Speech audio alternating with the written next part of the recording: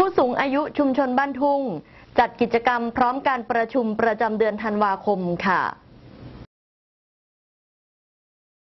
ชมรมผู้สูงอายุอำเภอแม่สอดร่วมกับศูนย์สุขภาพชุมชนโรงพยาบาลแม่สอด ร่วมกันจัดกิจกรรมส่งเสริมสุขภาพประจำเดือนธันวาคม ให้กับชมรมผู้สูงอายุชุมชนบ้านทุ่ง ณ ที่ทำการชุมชนบ้านทุ่ง เขตเทศบาลนครแม่สอดอำเภอแม่สอด จังหวัดตาก นายปัญญาธัญพิพัฒน์หัวหน้ากลุ่มผู้สูงอายุชุมชนบ้านทุ่ง พร้อมนางบัวไหลบุญส่งรองประธานชมรมผู้สูงอายุอำเภอแม่สอด ได้นำสมาชิกผู้สูงอายุชุมชนบ้านทุ่ง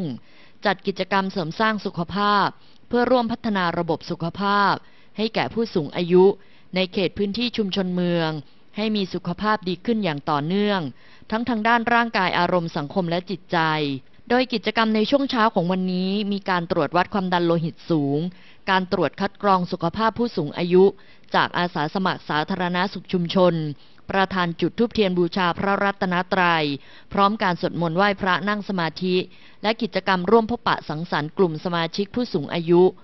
และประชาสัมพันธ์ข่าวสารจากทางเทศบาลนครแม่สอด เพื่อเปิดโอกาสให้ผู้สูงอายุได้พบประสบการณ์ใหม่ ได้แลกเปลี่ยนเรียนรู้ซึ่งกันและกันจนสามารถปฏิบัติตน ให้ห่างไกลจากโรคและมีสุขภาพที่ดีขึ้นได้ตามลำดับต่อไป